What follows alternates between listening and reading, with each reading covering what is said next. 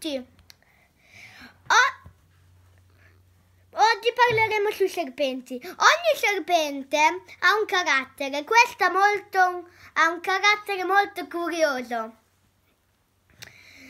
Vicino agli occhi c'è un piccolo coso che la lingua tira fuori per prendere e tira dentro per eh, sapere cosa c'è di fuori.